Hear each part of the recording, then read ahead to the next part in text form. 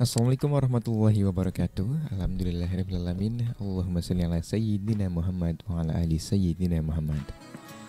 Dipancarloskan dari Kompleks Lembaga Pengembangan Dakwah Al-Bahja Sendang Sumber Cirebon Radio Keinspirasi Spirit Hati.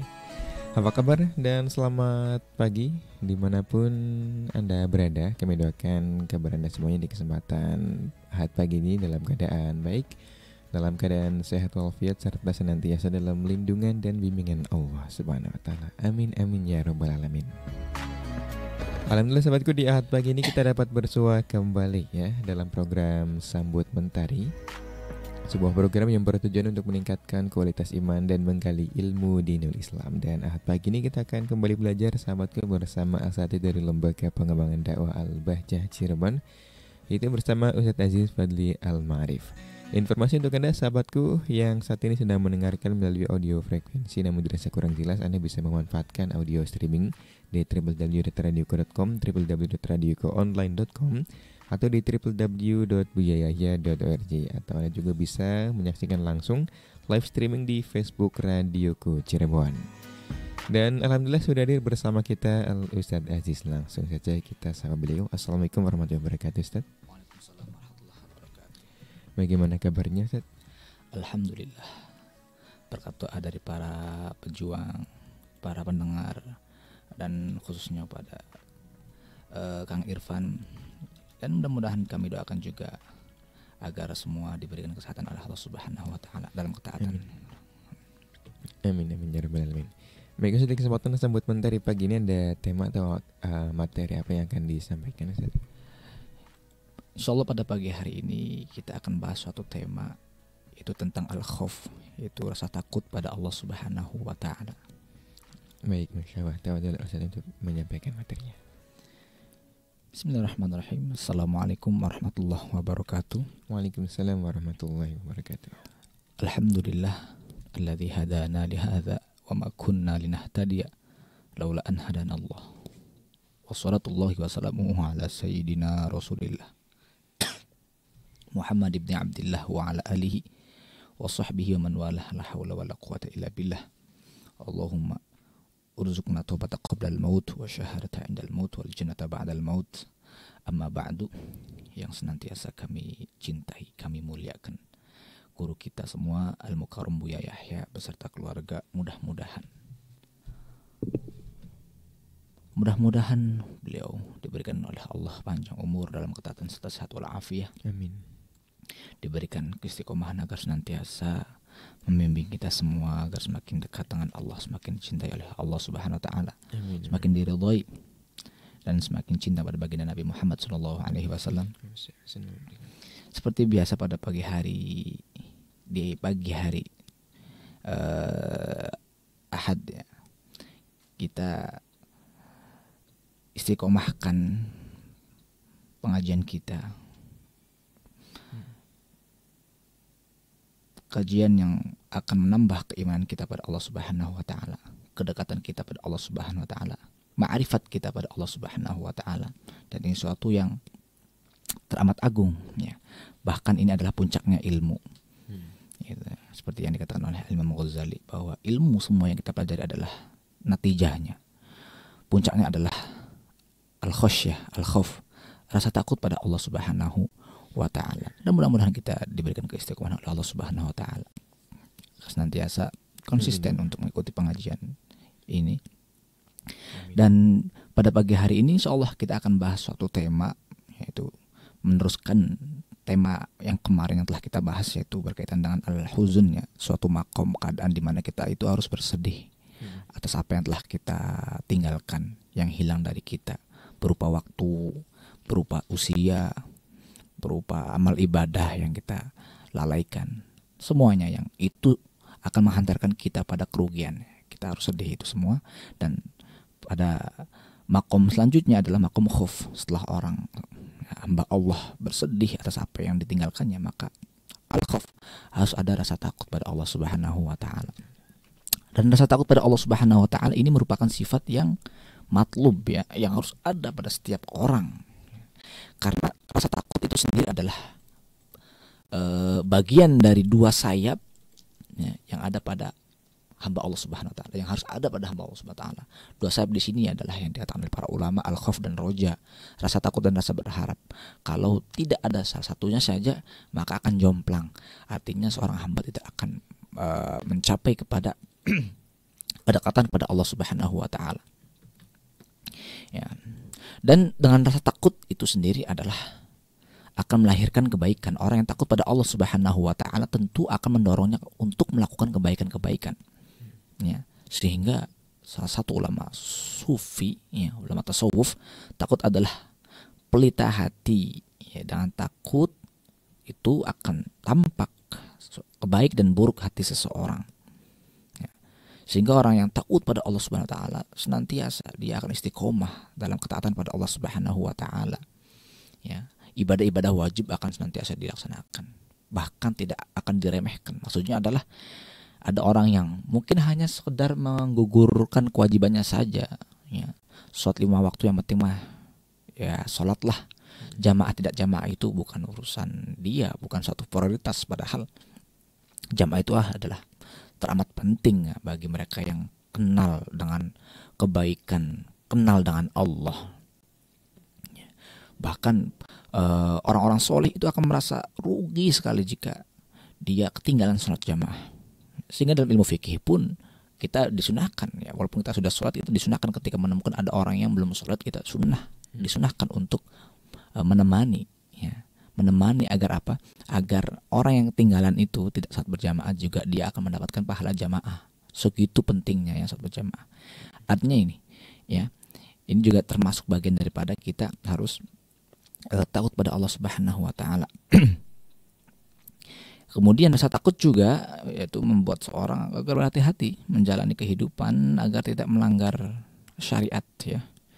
Artinya dengan rasa takut ini akan membuahkan seorang e, berhati-hati, tidak e, begitu mudah melakukan sesuatu yang bisa jadi itu adalah sesuatu yang dibenci oleh Allah biarpun tidak sampai derajat haram ya, apalagi sampai melanggar kan dia akan akan takut sekali. Terlebih adalah orang-orang soleh para wali Allah. Ya nanti akan ada tingkatannya rasa takut seperti apa. Kemudian eh, khauf di sini juga termasuk eh, bagian dari kecintaan ya pada Allah Subhanahu wa taala.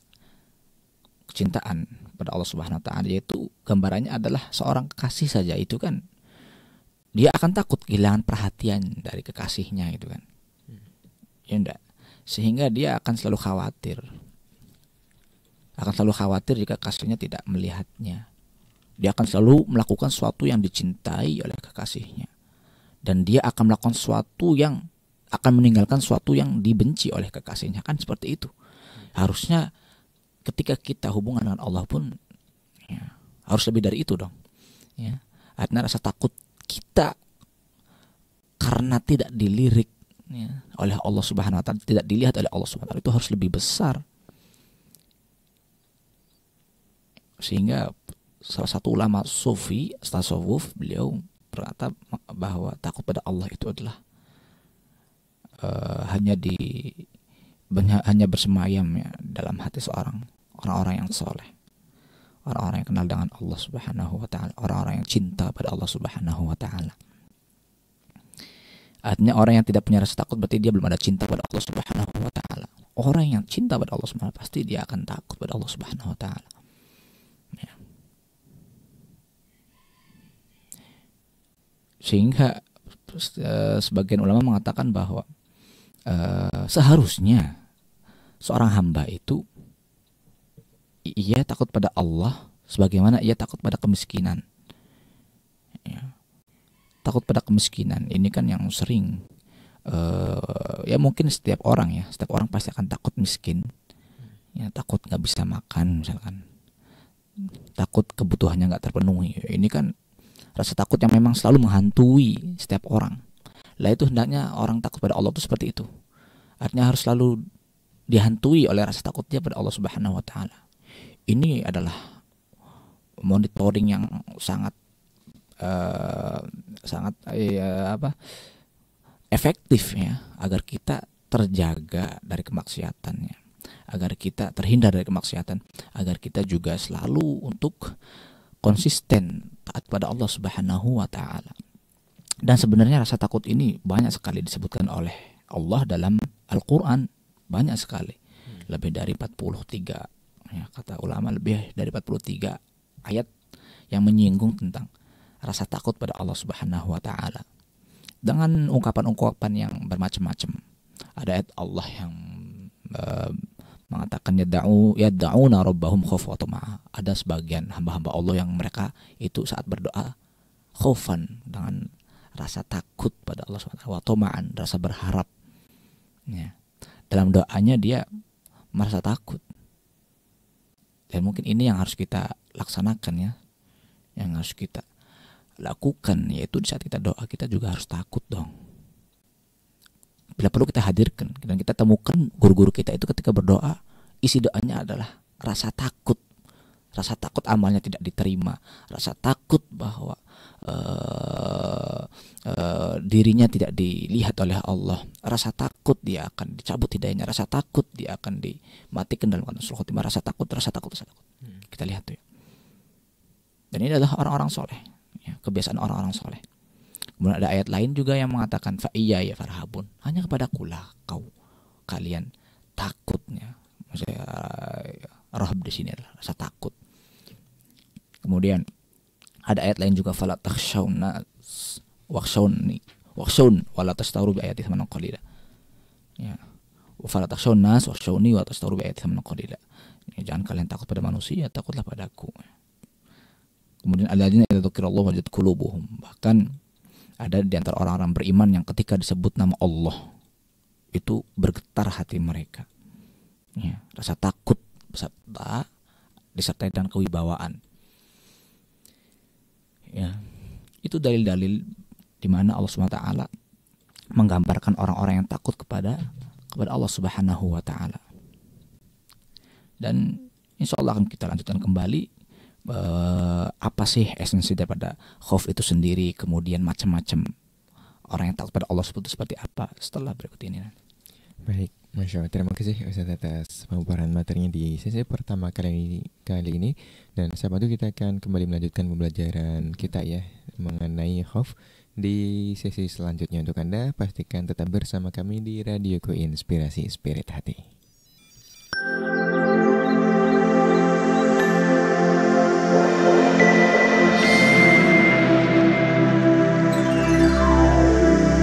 Radioku Inspirasi Spirit Hati masih dipancar luaskan dari Kompleks Lembaga Pengembangan Dakwah Al-Bahja Sendang Sumber Cirebon. Terima kasih sahabat untuk kalian yang masih bersama kami dalam program Sambuat Mentari dan di sesi kali ini kita langsung saja untuk melanjutkan pembelajaran kita bersama Al Ustadz Aziz. Baik, dulu Ustadz untuk melanjutkan materinya. Baik, Bismillahirrahmanirrahim. Kita lanjutkan kembali uh, pembahasan kita terkait al-khauf ya rasa takut kita pada Allah Subhanahu wa taala. Di segmen pertama kita sudah menjelaskan uh, mukaddimah daripada rasa takut ya. Pentingnya rasa takut kemudian buah daripada rasa takut. Nah sekarang kita akan membahas apa sih rasa takut itu sendiri ya. Takut kepada Allah Subhanahu Wa Taala itu substansinya seperti apa itu? Hmm. Imam Ghazali beliau uh, mengatakan bahwa takut itu sebenarnya pekerjaan hati ya itu hati yang selalu memikirkan sesuatu yang tidak menyenangkan di masa mendatang. Ya, tidak menyenangkan berarti kan banyak banget. Hmm. Contohnya adalah ketika seorang uh, tahu bahwa maksiat itu akan ada siksa di akhirat nanti. Orang yang melakukan kemaksiatan tentu akan disiksa di akhirat. Dia tidak akan uh, dia akan rasa, ada rasa takut dong agar tidak melakukan itu. Kan seperti itu. Ini sebenarnya senada dengan definisi yang dijelaskan oleh Imam Junaid bahwa Imam Junaid itu takut adalah datangnya, beliau mengatakan takut adalah datangnya deraan dalam setiap pembusan nafas. Ini berarti lebih dalam lagi Imam Junaid ya. Bahkan rasa takut itu sendiri itu adalah bagi orang-orang khusus ya, setiap nafas yang dihembuskan itu ada rasa takut pada Allah Subhanahu wa taala. Artinya setiap detik, setiap nafas yang dihembuskan oleh seorang hamba itu bernilai sebenarnya ya. entah itu bernilai pahala atau bernilai dosa atau kesia-siaan kan seperti itu ya macamnya maka seorang yang soleh tentu ia akan takut bahwa nafas yang ia hembuskan tidak ada nilainya di hadapan Allah Subhanahu wa taala dan akan diperhitungkan perhitungan dong nanti di akhirat. Nah, ini berbeda dengan huzn. Kalau huzn ya pada pembahasan pertemuan kemarin, al huzn itu kan kita merasa sedih dengan apa yang telah ditinggalkan oleh kita, yang sudah berlalu, yang sudah hilang. Kalau ini mah e, sesuatu yang akan datang, yang kita sedihkan, yang kita takutkan adalah sesuatu yang akan terjadi, yang akan datang berupa keburukan, ya, kemudorotan. Nah, itu definisi para ulama. Bahkan ada lagi yang mendefinisikan bahwa e, rasa takut al khauf itu adalah al inkhila'an tuma'ninatil aman bi mutala'atil khobar yaitu hilangnya ketenangan hati sebab ancaman-ancaman yang diyakininya akan datang pada kepada uh, kepadanya ya contohnya bimutolaat bimutolaatil khobar yaitu dengan ya ketika dia mendapatkan hadis-hadis yang tentang menjelaskan tentang uh, gambaran ahli neraka siksa bagi orang-orang yang melanggar syariat orang-orang yang bermaksiat. Sehingga dengan dia uh, mengetahui itu semua timbul rasa takut. Nah, inilah al khauf yang dimaksudkan. Al khauf min Allah. Nah, sedangkan untuk sebab munculnya rasa takut pada Allah Subhanahu wa taala itu seperti apa sih? Kan seperti itu. Agar kita takut pada Allah Subhanahu wa taala itu kita harus melakukan apa? Ya. Sebenarnya rasa takut itu adalah timbul daripada keimanan kita ya. Keimanan. Yazidu yang kus, iman itu kan yazidu yang kus, kadang bertambah kadang berkurang. Sehingga orang yang berimannya bertambah tentu dia akan bertambah rasa takutnya pada Allah Subhanahu wa taala. Dan jika seorang hamba imannya menurun, tentu dia juga akan menurun rasa takutnya pada Allah Subhanahu wa taala. Dan tambahnya iman itu kan seperti yang dijelaskan oleh para ulama ya dengan cara kita banyak melakukan ketaatan, banyak melakukan rakaat sholat, melakukan ibadah-ibadah seperti puasa, sunnah, ya, baca Al-Quran, itu semua adalah hal-hal yang akan menambahkan keimanan kita pada Allah Subhanahu Wa Taala. Itu semua juga akan menyebabkan ya akan men, uh, menimbulkan ya, rasa takut pada Allah Subhanahu wa taala. Itu yang pertama. Kemudian yang kedua adalah sebab uh, munculnya rasa takut pada Allah Subhanahu wa taala yaitu dengan ilmu. Dengan ilmu. Kita banyak baca kaitannya dengan siksa itu akan menimbulkan rasa takut. Ya. Kemudian uh, ilmu-ilmu tentang pentingnya pentingnya uh, apa ilmu-ilmu ilmu tasawuf ya ilmu-ilmu terkait tentang uh, pembersihan hati itu juga akan mendorong seorang semakin takut pada Allah Subhanahu wa taala. Ya. Makanya kata Imam Ghazali al-ilmu kulluhu khasyah ya. Al-ilmu kulluhu khasyah. Ilmu itu semuanya adalah rasa takut ya. Natijahnya puncaknya ilmu adalah rasa takut pada Allah Subhanahu wa taala. Maka semakin seorang itu tambah ilmunya, sebenarnya seharusnya dia semakin takut pada Allah Subhanahu wa taala. Inama yasallah min ibadihi ulama. Sungguhnya paling takut pada Allah adalah mereka orang-orang alim, orang-orang yang berilmu. Ya.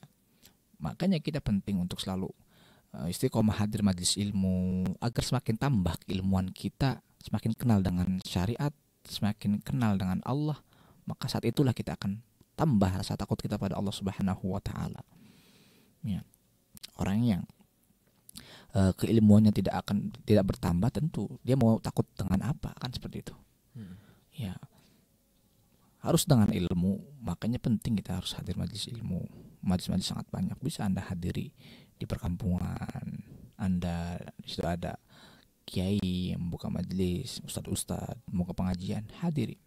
Ya tentu akan didapatkan ilmu-ilmu yang sangat kita butuhkan baik itu ilmu syariat kaitan dengan ibadah ubudiyah atau dengan ilmu yang kaitannya dengan ilmu tasawuf pembersihan hati ilmu-ilmu akidah keyakinan. Ya itu semua penting. Kemudian uh, sebenarnya enggak semua rasa takut itu di mamduh ya artinya terpuji ada rasa takut yang memang madmum yang tercela ya. ya maka ada sebenarnya ciri-ciri takut pada Allah yang sesungguhnya ya. tanda takut yang sesungguhnya itu adalah pertama tandanya adalah dia akan selalu e, merasa merasa sedih, merasa apa ya, merasa dia itu akan mendapatkan kerugian yang besar jika dia tidak dihadirkan dalam hatinya rasa takut ini. Maksudnya adalah contoh ada orang itu dia memang setiap saat bersedih. Kenapa? Karena tadi ya, mungkin selama setiap hari yang ia lakukan untuk aktivitasnya ya itu dia bahkan berpikir apakah aktivitasnya itu akan bernilai pahala bahkan di ibadahnya pun dia akan selalu berpikir apakah ibadahnya akan diterima oleh Allah. Bahkan di amal baiknya pun dia juga akan berpikir apakah amal baiknya akan diterima oleh Allah sedekahnya. Ya perjuangannya di pondok pesantren misalkan. Nah ini ciri-ciri takut pada Allah yang sesungguhnya itu. Kemudian juga orang yang takut pada Allah Subhanahu Wa Taala itu dia sebenarnya bukan takut itu kan dia lari dari sesuatu uh, dia akan uh, lari ya dari sesuatu yang dia takut itu ya kalau takut pada Allah bukan Justru sebaliknya. Takut pada Allah justru takut yang membawa dia semakin dekat dengan Allah. Perbedaannya antara takut ya takut pada manusia, takut pada ya, makhluk lain itu kan justru yang akan menjadikan dia lari dari yang ditakuti. Kalau ini tidak. Takut pada Allah justru dia akan semakin dekat dengan Allah Subhanahu wa taala. Ya. Makanya Syekh Nasr al-Samarqandi dalam Bustanul Arifin beliau berpendapat bahwa takut pada Allah itu yang sesungguhnya ya itu jika termenuhi tujuh macam. Pertama adalah lisan. Orang yang takut pada Allah Subhanahu wa taala justru akan mendorongnya dia tidak akan berucap hal-hal yang buruk, bohong. Ya. Bahkan uh, omongan-omongan yang tidak ada gunanya Omong-omongan-omongan yang tidak ada gunanya itu adalah omongan yang memang tidak ada manfaat seperti ya uh, yang tidak ada nilainya, nilai pahala, nilai kebaikan. Ya. Omong-omongan yang ada manfaatnya seperti nasihat, ngobrolin perjuangan dakwah, ngobrolin ngobrolin ilmu. Kalau hanya fadi, omong-omongannya mungkin untuk hanya sekedar ketawa-ketawa ya. Nah, ini ya berarti dia belum takut pada Allah Subhanahu wa taala karena setiap kalimat itu kan akan dihitung dihisab oleh Allah Subhanahu wa taala. Kecuali kalau memang dia e, mengatakan sesuatu dengan tujuan ya, dengan tujuan. Ya memang ini tidak ada nilai nilai e, ibadah ya. Seperti hanya nasihat.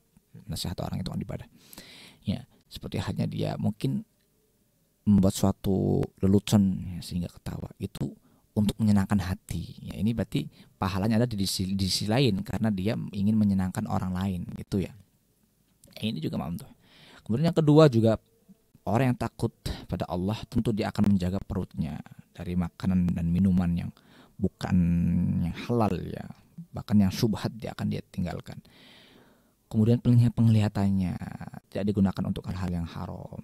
Kemudian dari tangannya yang tidak di gunakan untuk hal-hal yang menuju pada kemaksiatannya. Dia akan gunakan untuk hal-hal yang uh, bersifat ada kemanfaatan baik dunia ataupun akhiratnya. Kemudian yang kelima kedua kakinya. Yang kedua kakinya tidak dibawa kecuali untuk sesuatu yang diridhoi oleh Allah, tidak dibawa kepada sesuatu yang Hmm, eh, menjadikan dia bermaksud pada Allah Subhanahu wa taala. Kemudian yang keenam hatinya. Hatinya tidak dijauh uh, tidak digunakan untuk terbebas daripada penyakit-penyakit hati, kebencian, dengki, ria, ujub dan yang ketujuh terakhir yaitu kecenderungan untuk menjaga bentuk ketaatan yaitu maksudnya adalah ketaatannya hanya semata-mata untuk Allah Subhanahu wa taala ini kata beliau, ketujuh ini jika ada di diri seorang hamba, maka dia sudah benar-benar takut pada Allah Subhanahu wa taala. Yang pada intinya, ya sebenarnya ketujuh ini adalah semua anggota tubuhnya. Hanya rasa takut itu adalah jika seorang itu sudah mampu untuk menjaga seluruh anggota tubuhnya dari kemaksiatan pada Allah Subhanahu wa taala. Semua tubuhnya tidak dia gunakan kecuali untuk taat pada Allah Subhanahu wa taala. Ini. Ya memang ini natijah daripada rasa takut itu, puncaknya adalah seperti itu. Puncaknya adalah dia akan mampu karena dia tidak rela jika anggota tubuhnya digunakan untuk hal-hal yang dibenci oleh Allah, dimurkai oleh Allah Subhanahu wa taala. Baik pendengarannya, penglihatannya, tangannya, kakinya, semuanya. Ya. Orang yang takut pada Allah Subhanahu wa taala tentu dia uh, tidak rela jika sampai nanti anggota tubuhnya di akhirat akan disiksa. Kan seperti itu. Kemudian uh, itu tanda-tanda ya takut pada Allah Subhanahu wa taala dengan rasa takut yang sesungguhnya. Hmm. Ada juga macam-macam rasa takut ya. Ada takut yang tobiai. Ini dibahas juga oleh para ulama. Takut yang itu adalah takut secara naluri manusia. Seperti takut pada musuh yang lebih kuat, takut pada hewan buas, takut dengan api dan sebagainya. Dan lain sebagainya. Ini namanya takut tobiai. Nah, ya, setiap orang pasti punya rasa takut seperti ini kan gitu. Hmm. Nah, kemudian takut pada maksiat. Ya takut pada maksiat kemudian ada takut ibadahnya nggak diterima. Ini semuanya adalah macam-macam rasa takut yang uh, semuanya tergolong menjadi dua bagian. Seperti yang kami sampaikan ada takut yang terpuji dan takut yang tidak terpuji. Takut yang tidak terpuji itu adalah takut yang sampai pada membawa keputusasaan. Seorang yang takut sehingga membawa dia pada keputusasaan dengan rahmat Allah. Ini rasa takut yang tidak terpuji ini. Contoh adalah orang yang sudah uh, hidupnya penuh dengan perbuatan dosa. Dia merasa dirinya sudah berdosanya banyak, dia tidak punya harapan ya, menurut sangkaannya tidak ada harapan dapat hidayah dari Allah, rahmat dari Allah sehingga putus asa. Nah, ini takut yang tidak terpuji. Ya. Takut yang tidak terpuji, yang tercela. Atau takut dengan sesuatu yang tidak seharusnya tidak perlu ditakuti. Ya. Karena kata Allah takutlah pada Allah. Ya, jangan takut yang sesungguhnya. Ya kan? Contohnya adalah takut dengan makhluk apalagi ya sekarang macam-macam kan takut dengan jin lah ya sama-sama makhluk Allah ngapain takut gitu ya memang dari segala uh, ya karena dia beda alam ya kemudian juga beda bentuk mungkin agak asing ya bagi orang yang mungkin melihatnya gitu ya. Alhamdulillah kita sama sampai saat ini belum pernah melihat yang seperti itu. Ya, takut. Padahal semua itu kan tidak membawa kemudorotan. Nanti kita di akhirat, iya memang ketika kita melihat ada hewan buas, takut ini takut tobi takut tobi termasuk ya tidak di, di, dipersoalkan. Yang dipersoalkan itu adalah ketika kita takut pada musuh misalkan ya. Hmm. terlebih misalkan di medan perang. Ya pada dulu pada zaman Nabi Muhammad SAW ya para sahabat ikut serta berperang dengan Nabi. Ya maka takut dia dengan musuh ini takut yang tercela. Hmm. ya atau zaman sekarang lah kita gambarkan zaman sekarang itu adalah takut membela Islam. Ada orang yang menghina uh, umat Islam mengolok-olok umat Islam takut kenapa? Kalau seandainya saya uh, membela orang-orang Islam takut jabatannya diturunkan misalkan. Ya. Takut kemasyurannya akan hilang. Ya, karena ini yang merendahkan misalkan punya uh, nama ya punya jabatan misalkan di negara. Nah ini juga takut yang tercela. Hmm, orang-orang soleh yang dia hanya takut pada Allah Subhanahu Wa Taala dia gak memikirkan seperti itu orang alim soleh. Tapi ada juga orang alim yang ya sebenarnya dipertanyakan kealimannya. Alim sesungguhnya itu justru orang-orang yang takut pada Allah. Orang yang banyak ilmunya tapi nggak takut pada Allah itu bukan orang alim. Ya. Seperti yang dikatakan oleh Imam Ghazali. Nah itu takut yang tidak diperkenankan takut yang tercela. Ya. ada orang yang menghina uh, kaum muslimin didiamkan ya ini ghairu matlub ya, tercela harus dijauhi orang yang takut pada Allah justru dia akan menjadi orang pertama untuk membela kan seperti itu ya. itu macam-macam rasa takut ya Jadi takut yang matlub, takut yang memang harus ada pada diri seorang hamba adalah takut pada Allah Subhanahu wa taala. Takut uh, adanya kerugian. Kerugian yang akan dia dapat nanti di akhirat. Takut dengan sesuatu yang akan merugikan dia di akhirat, nah itu takut yang sesungguhnya.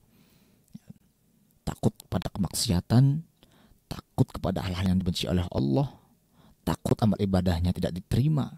Nah, takut-takut seperti inilah yang harus kita tanamkan dalam hati hati kita. Sehingga dengan rasa takut ini kita akan membuahkan konsistensi ya dalam ketaatan pada Allah Subhanahu wa taala. Konsentrasi dalam beribadah pada Allah Subhanahu wa taala. Orang yang tidak punya rasa takut tentu dia ketika sholat pun tidak akan berusaha untuk khusyuk. Bahkan saking khusyuknya, saking uh, takutnya orang sholat pada Allah itu saat sholat pun dia seperti Imam Haddad ya. Seperti Imam Haddad kita pernah baca. Imam Haddad ini dia adalah orang yang takut pada Allah Subhanahu wa taala. Ini orang soleh. Waliullah. Dia ketika pengen sholat itu nggak mau ngeliat kanan kiri atau mendengar ya beliau tak mendengar kanan kiri suara kanan kiri depan belakang dia tidak mau mendengar bahkan muridnya sendiri ketika ada yang berbicara ya ada ada yang ingin berbicara, mengajak bicara beliau beliau menolak ya. dan para muridnya sudah tahu saat itu ya dia tidak akan menanyakan ya, ke gurunya itu uh, kenapa beliau melakukan seperti itu takut takut bahwa nanti sholatnya itu tidak khusyuk memikirkan perkara dunia takut sholatnya yang dia lakukan ya, hilang kehadiran Allah Subhanahu wa taala dalam hatinya. Muhaddad dalam sholatnya. Ada lagi orang sholat yang dia takut saat berdoa. Seperti yang dilakukan uh, oleh Eh, sebagian orang-orang soleh.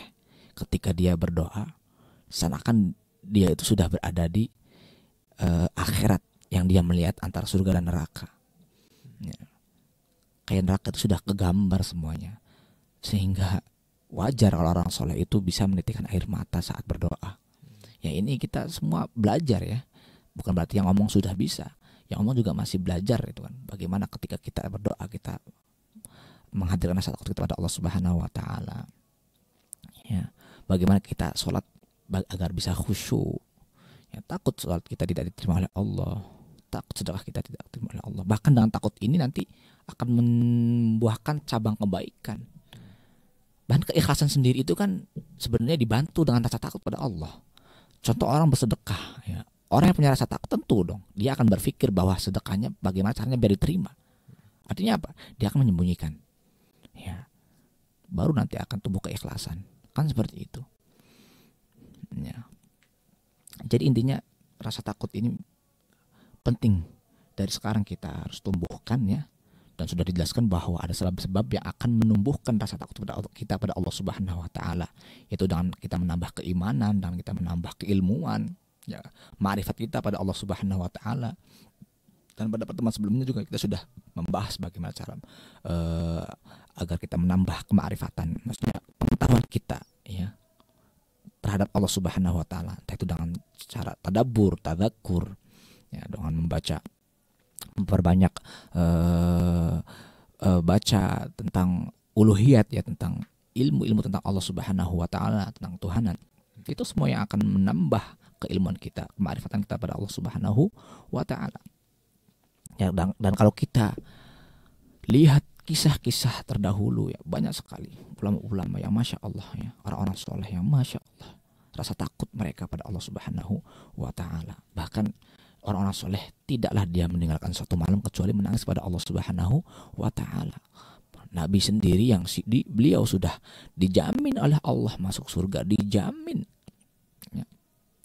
oleh Allah uh, mendapatkan keridhaannya ya, pasti dijamin diridhoi oleh Allah Subhanahu wa taala. Akan tapi adalah nabi orang pertama yang selalu menghadirkan rasa takut pada Allah Subhanahu wa taala. Bahkan beliau sendiri yang mengatakan, ini akhwaf.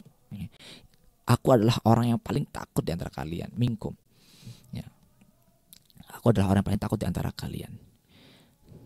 Artinya eh, pada pertemuan kali ini sebenarnya kita pengen eh, menyampaikan khususnya pada diri kami pribadi agar ayo kita tumbuhkan al khuf rasa takut kita pada Allah Subhanahu wa taala sehingga semakin tambah ketaatan kita pada Allah Subhanahu wa taala semakin berkurang nambahkan uh, mudah-mudahan kita bisa meninggalkan kemaksiatan-kemaksiatan bahkan kemakruhan atau syubhat-syubhat yang selama ini mungkin belum bisa kita tinggalkan. Ya mudah-mudahan kita dengan oleh Allah Subhanahu wa taala menjadi hamba-hambanya yang takut. Hmm. pada Allah Subhanahu wa taala menjadi hamba-hambanya yang uh, selalu istiqomah dalam ketaatan pada Allah Subhanahu wa taala. Dimudahkan untuk meninggalkan kemaksiatan. Dijadikan oleh Allah hamba-hamba yang uh, cinta dengan ilmu. Cinta dengan majlis ilmu. Cinta dengan ahli-ahli ilmu, hmm. orang-orang soleh. Dan mudah-mudahan semua amal kita diterima oleh Allah Subhanahu wa taala. Tanamkan kecintaan kepada baginda Nabi Muhammad SAW. Dimudahkan untuk berjuang untuk umat Nabi Muhammad Sallallahu Alaihi Wasallam. Al-Fatihah. Bismillahirrahmanirrahim.